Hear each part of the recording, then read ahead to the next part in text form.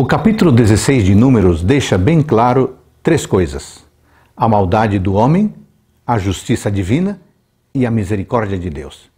Neste capítulo é relatada uma grande rebelião causada por homens sem amor a Deus que reivindicavam o direito à liderança civil e sacerdotal contra o ungido do Senhor, bem como um tumulto gerado pela não aceitação do castigo justo de Deus sobre os rebeldes, concluindo com a expiação feita por Moisés e Arão para que todo o povo não perecesse. A rebelião uniu mais de 250 homens entre os príncipes da congregação e foi liderada por Corá, Datã e Abirão, que de maneira disfarçada diziam defender o povo, mas na realidade buscavam os seus próprios interesses. Corá via as vantagens do sacerdócio no Egito, sua riqueza e influência, e por isso ele almejou tudo isso para si.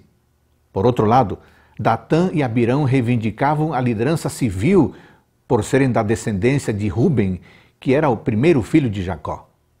Tudo isso era um grande retrato que a ganância humana é capaz de produzir.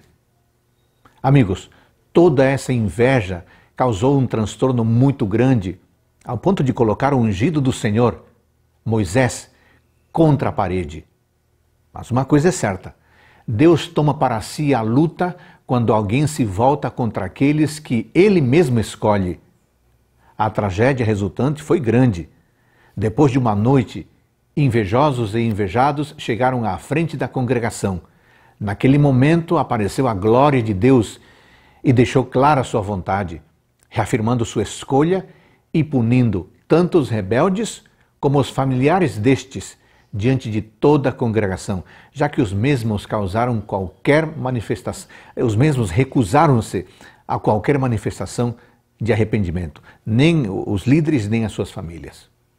Incrível que, mesmo diante do acontecido, o povo não se contentou e no outro dia voltou a reclamar de Moisés pela morte dos rebeldes. E Deus mandou uma praga que desta vez iria dizimar quase toda a congregação. Neste momento, ocorre a cena mais impressionante de todas. Moisés, depois de ter sido questionado, atacado, julgado, colocado contra a parede, começa a defender o povo diante de Deus. Ellen White diz que Moisés, aqui, nesse momento, tipifica a Cristo. Nesse momento crítico, Moisés manifestou o interesse do verdadeiro pastor pelo rebanho ao seu cuidado. Suplicou que a ira de um Deus ofendido não destruísse inteiramente o povo de sua escolha. Por sua intercessão, ele reteve o braço da vingança, de modo que Israel, rebelde e desobediente, não fosse inteiramente consumido. Ao olhar para a obra realizada por Moisés, ao interceder pelo povo, enxergamos a obra de Cristo, a obra que Cristo realiza em nosso favor. A intercessão de Moisés por aquele povo rebelde representa a intercessão que Jesus faz por todos os pecadores.